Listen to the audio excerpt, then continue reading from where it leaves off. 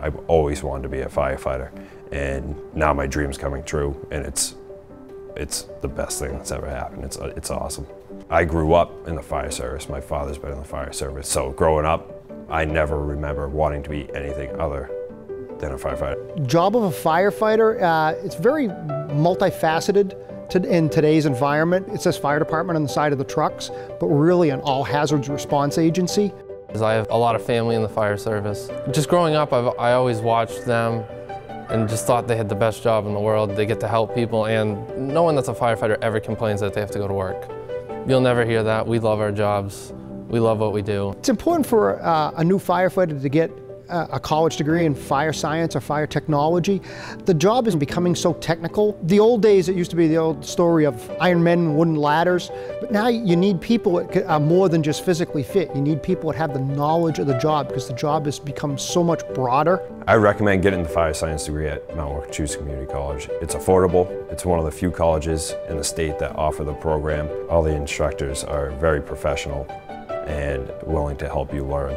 It's very easy for a working firefighter to take the mount classes and get their associate's degree. I did it while I was working full-time. Most of the instructors are firefighters themselves, and that really helps. Taking the online classes, it's really pretty easy for most firefighters now. Where the classes are all online, they can do a lot of that training sort of at their own speed and take the classes. They can work at them from the station or from home.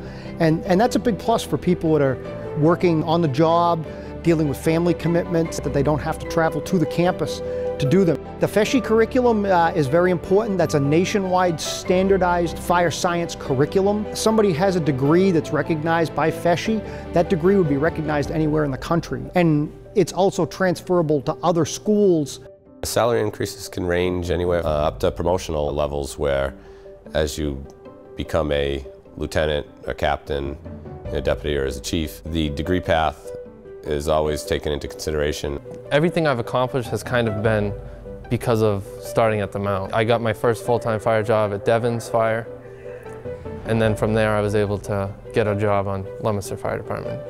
And it's all because of the experience I got here.